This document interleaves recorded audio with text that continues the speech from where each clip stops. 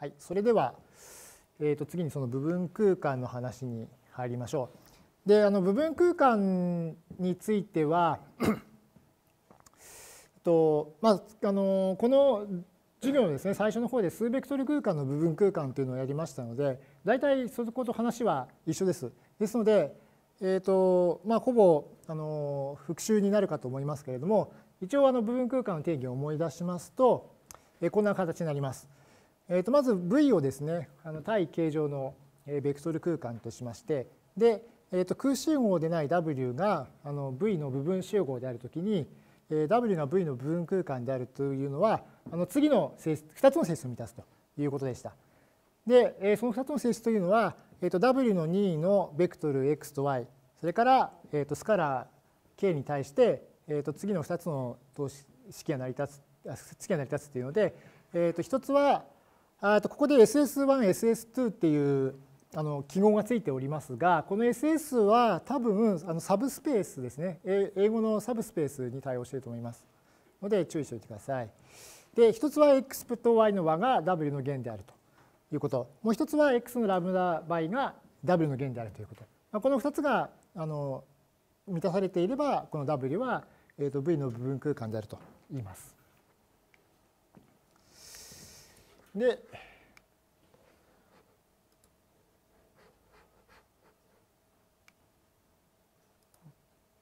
こうかな。はい。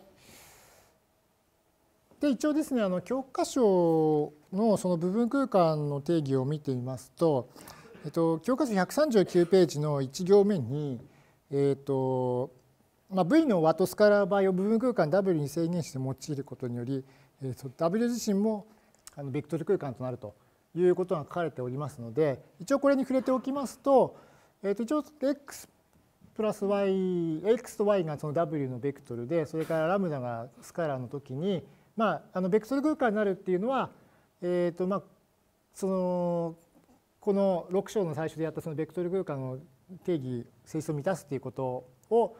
が、まあ、満たすということなんですけれども、えー、と大体ここ8つのルールのうちえーと、この1235678っていうのはまあ見た感じ成り立ちそうに見えるんですけれども一応注意しておきたいのは、えー、と4番目のルールでその逆弦もあの必ずその W の中に存在するというところがあまり当たり前ではなさそうだと思いますのでそこを注意しておいてください。えー、と一応あの部分空間についてはこのぐらいでえー、進めたいと思います。よろしいでしょうか？はい、で、えーと、ベクトルの次にそのベクトルの線形結合もしくは一次結合ですね。えー、これについても多分あの春学期も出てきたと思いますのでここは復習にとどめたいと思いますけれども、えー、とまず、まあ、x1 から xr っていうのが、まあ、v ベクトル空間 v の弦であその前にすみません、えー、と v が対形状のベクトル空間として、えー、と x1 から xr が v の弦ででそれから、えー、と c1 から cr っていうのを、まあ、あのスカラーとしたときに、えー、こういった形ですね c1x1 から crxr までの和というのを、えー、と x1 から x1 の r の、まあ、線形結合もしくは一次結合と呼びました。では、えー、と一応、あの線形代数のこの春学期の最初の方でも出てきたと思いますので、えー、復習しておいてください。それから、とこれはあの前回、前々回ぐらいに出た、えー、と記法ですけれども、この x1 から xr を並べて、こういうブラケットで囲ったものですね、集合。これは、えー、と x1 から xr のあの線形結合全体の集合でして、でこれをあの x1 から xr ルで、まあ、生成されるあの V の部分空間と言いました。えっ、ー、と言います。えー、あこれか、えーと、確か前回やった時は数ベクトル空間だったと思うんですけれどもあの同じようにですね一般のベクトル空間でもあのこれこの集合があの V のあの部分空間になりますので注意してください。いいでしょうか。はい、でそれから、えーとまあ、一応ですね、この次はその有限生成という言葉について一応あの説明しておきます。えー、とこの V っていうまあベクトル空間ですね。今考えているベクトル空間があの有限生成っていうあの言い方をします。でその言葉の意味は何かっていうと、えー、この v がですねベクトル空間 v が、えー、と有限個のベクトル x1 から xr で生成されることを言います。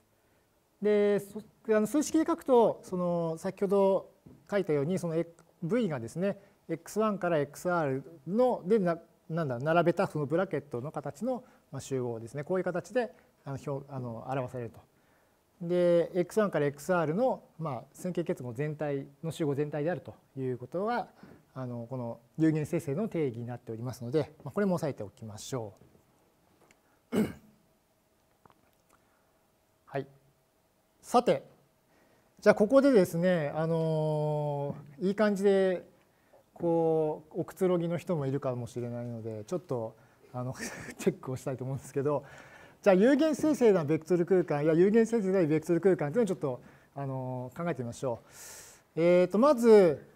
あの例題1なんですけれども、えー、と数ベクトル空間あの計算ってありますよね皆さんこれまでやった数ベクトル空間はこれ 3, 3, 3個のですね3個の数ベクトル空間は有限生成か有限生成でないかちょっと聞きます。これはいきなり聞いていいですかね。はい、有限生成だと思う人はい、有限生成でないと思う人。はい、わからない人。はい、わかりました。いいですよ。はい。じゃあ答えをドンと開けてみますと、あれ開かないな。よいしょ。はい、えっ、ー、と有限生成です。で、えー、と実際この計算っていうのはこの、えー、と100と010と001のあの基本ベクトルで生成されるということに注意してください。でただし、えー、とあと後のですねあのベクトル空間の規定のところでもやりますけれどもあのこの計算を生成するベクトルというのはこれだけではないです。あの他にもあの計算を生成するベクトルの組というのがあるのでそこは注意しておいてください。でまあ、とりあえずここの3つはせあの計算を生成するというふうに言えます。はい、いいでしょうか。映しましたか？じゃあ次いきます。じゃあ次、えー、と V として、えー、と0ベクトル1個からなるベクトル空間を持ってきました。これは有限生成でしょうか？はい、有限生成だと思う人、手を挙げてください。有限生成じゃないと思う人、わからない人。はい、わかりました。じゃあ答えを挙げてみましょう。ドン。えー、と答えは有限生成です。で、えー、とこれを考えるのはあの有限生成っていう定義にもう一回立ち返って確認してみる必要があります。えー、と有限生成っていうのは、えー、とどういう性質だったかというと,、えー、とその有限個のベクトルのあの線形結合でそのベクトル空間の弦全体が表せるか表せればそのベクトル空間は有限生成って言ったんですね。で、えー、と0ベクトル1個からのベクトル空間はえー、とそのベクトル空間の線形結合っていうのはどういう形かっていうとこの形しかありません。あの0ベクトルの定数倍ですよね。でところが0ベクトルの定数倍っていうのは何倍しても0ベクトルですからですのでこの C10 っていう形はあの